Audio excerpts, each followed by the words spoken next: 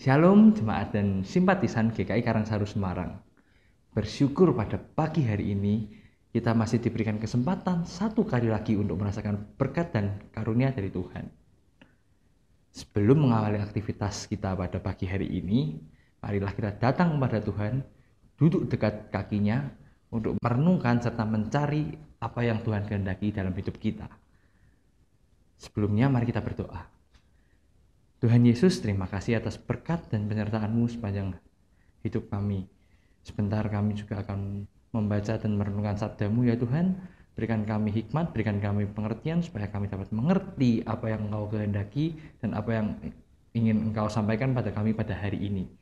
Dalam nama Tuhan Yesus kami bisa berdoa. Amin. Tema perenungan firman kita pada pagi hari ini adalah berbagai berhala dalam diri yang terambil dari 1 Samuel 13 ayat 1 sampai 14 dan saya akan membacakan ayat 13 yang berbunyi demikian. Kata Samuel kepada Saul, "Perbuatanmu itu bodoh. Engkau tidak mengikuti perintah Tuhan, Allahmu yang diperintahkannya kepadamu. Sebab sedianya Tuhan mengkokohkan kerajaanmu atas orang Israel untuk selama-lamanya." Berbahagialah orang yang membaca dan merenungkan firman Tuhan, syukur pada Allah. Selamat pagi saudara-saudara yang dikasih Tuhan, kiranya hari ini menjadi hari yang penuh pengharapan dan sukacita bagi kita semua. Saudara yang dikasih Tuhan, seorang pendeta dan teolog Amerika bernama Timothy Keller pernah menulis sebuah buku berjudul Counterfeit God, Allah palsu. Dalam buku tersebut, ia membahas tentang berhala-berhala dalam hidup manusia. Secara sederhana, Keller mendefinisikan berhala sebagai segala sesuatu yang mungkin kelihatannya baik yang menggantikan Allah sebagai yang terutama. Keller kemudian menguraikan dua kategori berhala, yaitu berhala dari dalam dan berhala dari luar.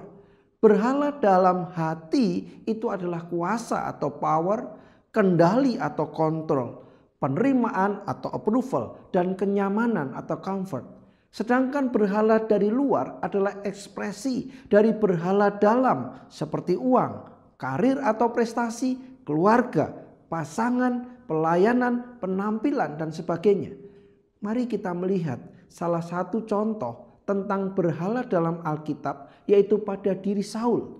Pada saat itu Saul sebagai raja Israel memimpin peperangan melawan bangsa Filistin.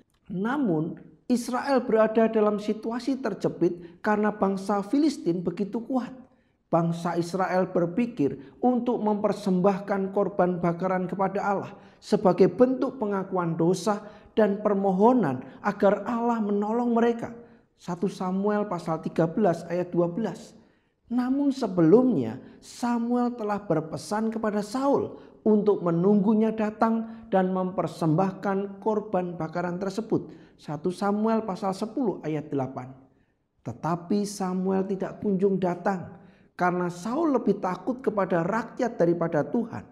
Maka Saul mempersembahkan korban bakaran tersebut. 1 Samuel pasal 13 ayat 9 sampai 12.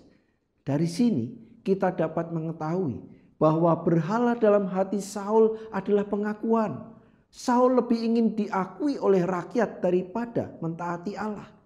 Singkat cerita, ketika Samuel datang, ia menegur Saul atas tindakannya itu dan konsekuensi dari perbuatannya itu tidak main-main.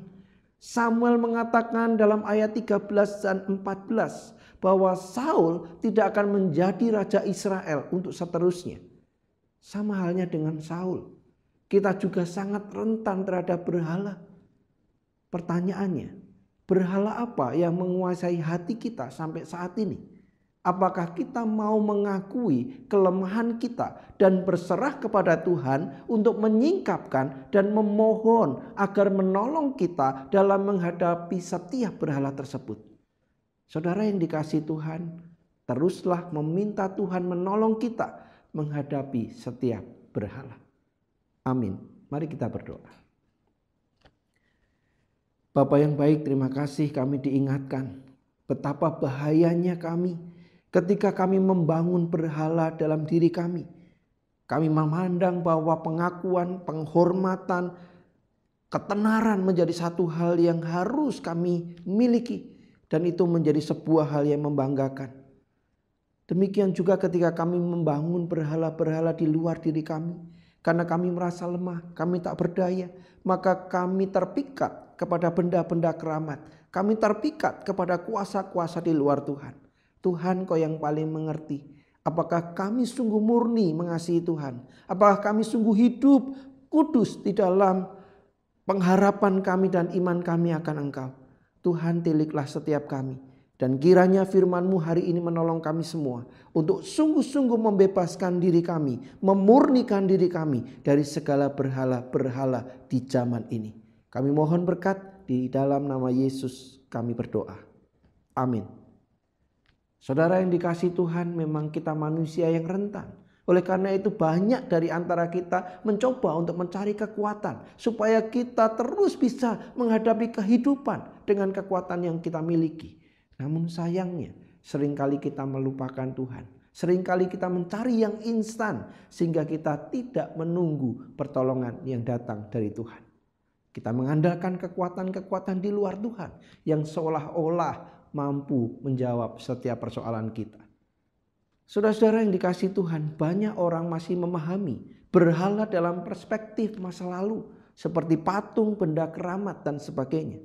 Sesungguhnya segala hal yang menggeser hati manusia menjauh dari Tuhan. Itulah berhala. Mari kita berhati-hati, mari kita memurnikan diri. Selamat menikmati kasih Tuhan hari ini. Tuhan menyertai kita semua.